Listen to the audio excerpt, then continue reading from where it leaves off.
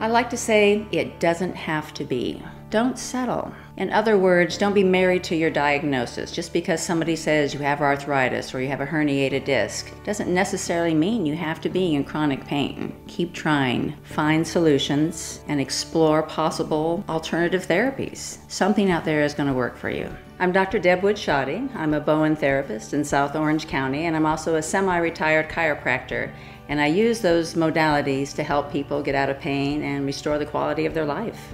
My primary modality is Bowen therapy. I still do a little bit of chiropractic work when needed. I offer vibroacoustic therapy, which uses sound. I have a SCENAR device for stimulating healing. I use a Pilates based exercise rehabilitation program, and I do nutritional support myofascial release, and destination wellness retreats. A large percentage of my patient population comes to me with the story I've been everywhere else and nobody's been able to help me. Bowen changes that. Bowen therapy is based on osteopathic principles of restoring balance and function to the structure. Very similar to what chiropractors do. The big difference is that it uses a soft tissue manipulation rather than a bony manipulation. It's very safe, it's very gentle. I've done it on a newborn and a 90 year old. And what I really like about it is you don't need many treatments four to six treatments and most people are done. I find it more effective than the chiropractic therapy that I did for 25 years.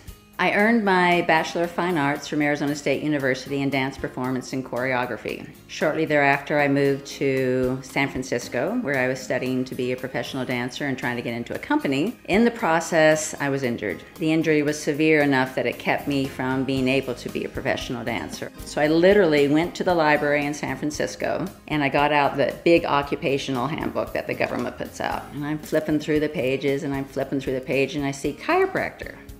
I think, well, my chiropractor is the one who helped me the most of all the doctors I went to, and that's what started the journey. Losing my dance career was painful, physically and emotionally. I don't want other people to go through that. If there's a way that I can help them get back to the things that they love to do, whether it's simply playing with their grandkids on the floor, shooting around a golf, or climbing Mount Everest, whatever it is, I want to be able to help them. I want them to live a life without limitations. I think that humor and laughter are a big part of getting people better. I use my sense of humor in the treatment room when appropriate, just to kind of lighten the situation. I often think of myself as a body detective because I have to find all the pieces to the puzzle to solve what's wrong with that individual. So I look at clues from their childhood history, from their current health history, from their blood work, from what they eat, how they sleep, do they drink enough water, what supplements are they taking or not taking. So many pieces comprise one individual's story. So I have to play detective so I can figure out what's wrong with them.